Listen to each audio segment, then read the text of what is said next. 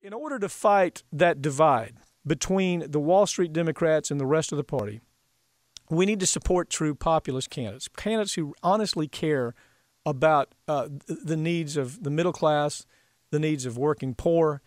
Uh, I have one of those candidates with me, uh, uh Sean Shaw, who's running for a seat in the House, Florida House of Representatives, which is a scary place to have to run. I mean, you talk about a place that's been gobbled up by right wing kooks it is the Florida legislature. Sean's running, uh, and, and, and his his his opposition is doing everything we've been talking about. That is gathering up the big money. Sean, are you there? I'm here. Hey, Pap. How are you? The I'm the great. the money that's moving against you in this race is coming virtually from corporate American only, right? I mean, isn't that kind of the story? Uh, substantially, yeah. The my main opponent, it's kind of the the usual suspects, the Florida Chamber of Commerce, Associated Industries of Florida, insurance companies, and big AT&T and those kind of companies. I know you followed this story where the Koch brothers have pledged to put their money this next cycle into races, not just legislative races, but all the way down to city council, all the way down to uh, county commissioners, uh, all the way, uh, all the school board, you know, members of the school board. They're putting their money there, so you can count on the fact that if they don't like you, they'll put their money behind a candidate like the guy you're running against, uh, even though they're a Democrat. Bingo, bingo. I mean, I, I listened to your your opening comments, and it was almost exactly what is going on in my race. In fact you would think we weren't even in a Democratic primary. You'd think we were in a general election. My opponent kind of I'm the biz, I'm the business friendly Democrat and business friendly and uh, business is great and all those kind of talking points that you are used to hearing when you're in a general with a Democrat versus a Republican. But it's very interesting to be in a crowded Democratic primary and hear those type of talking points. Well, isn't part of the problem uh, that but the, look, you have you have people that uh, in the Democratic Party, they're just like people in the Republican Party. They rather than paying attention to what's actually happening within their party, they'll jump on the train simply because there's a big D there without ever asking who who are these people? Where's the money coming from behind these people?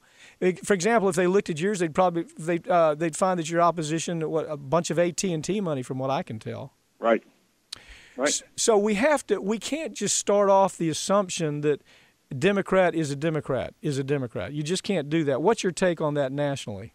I I think you're exactly right. I mean, I, when you can't tell a difference between you know a Wall Street Republican and a Wall Street Democrat, uh, except on a few social issues, that's a real problem, and and something that us as Democrats, particularly populist Democrats, have to keep in mind is why we're Democrats in the first place you know, my kind of my entire career has been, you know, sticking up for consumers. I was the insurance consumer advocate of the state of Florida for a few years. Um, uh, this district that I'm running in is one of the poorest districts, period, in the state of Florida. I mean, we're running as a Democrat to address those types of issues, the expansion of Medicaid and things that, that people need, helping the middle class. That's why we're Democrats. And I think that nationally we have forgotten why we're Democrats and we get caught up in this trying to out business friendly Republicans.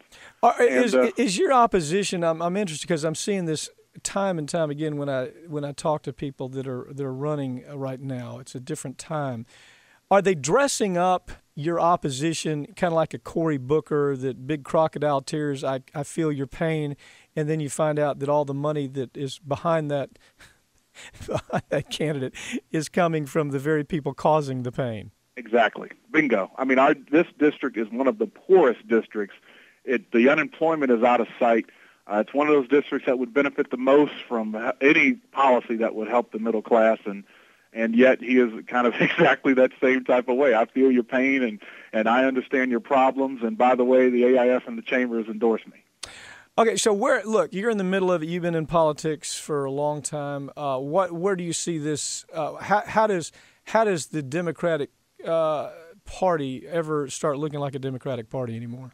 Well, I, of course, the Elizabeth Warrens and those people that are able to very articulately point out the problems that led to the financial crisis, the problems that led to the BP oil spill, you know, all these kind of corporate giveaways that lead to these big things, those people are going to get bigger and bigger voices within the party, I think. And I think there will come a time where uh, we will just have this fight in our own party, kind of like what we're seeing on the other side, and, and we're going to have to address it.